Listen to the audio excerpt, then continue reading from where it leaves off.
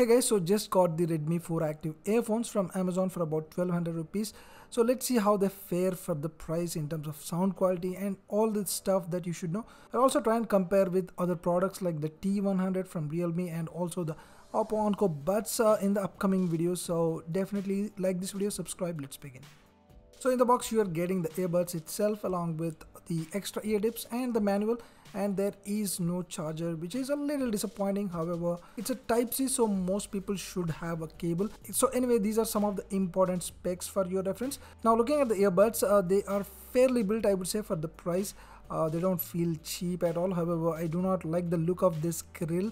That's part of the ear tip not the earbuds itself. So that's a poor design in my opinion i would say in terms of aesthetics. Also it has a 34 mAh battery inside which offers about 5 hours we'll test it out. These also have touch controls and they work quite decently well i would say. And uh, it covers pretty much all the basic functions and also looking at the charging case i do not like this dual tone. However it feels uh, quite lightweight and it has about 440 mAh which offers about 20 odd hours.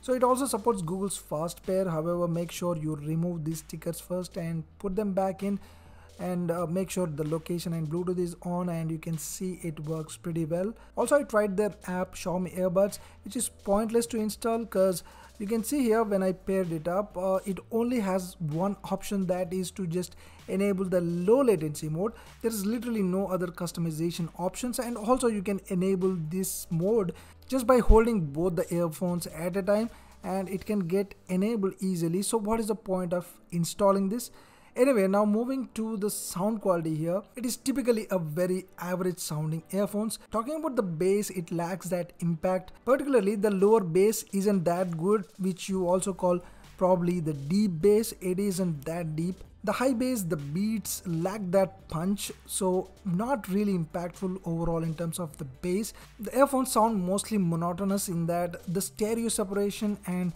the instrument separation could have been a lot better. So all the instruments sound almost generic as if they have no character. The treble doesn't sound crisp and pretty much feels like it's laid back. The only thing that sounds good is the vocals. They are pretty decent I would say. So overall I would say it doesn't give you that rich sound experience.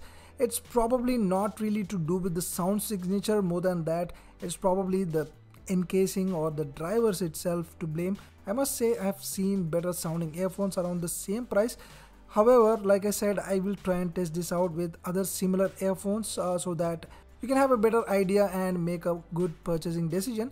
And here is the calling experience. Hey guys, now I'm recording this from the Redmi Buds 4 earphones. Calling has been pretty decent, at least indoors. I had no issues. Then there is no noise around, so pretty decent calling experience, I would say. And uh, let me know how this sounds.